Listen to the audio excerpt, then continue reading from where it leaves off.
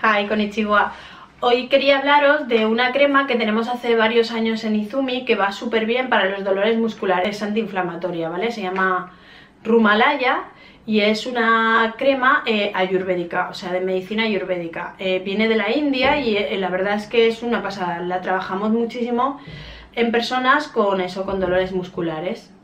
Así que ya sabéis, si queréis pasaros y comprarla, aquí la tenéis. Muchísimas gracias, arigato saina.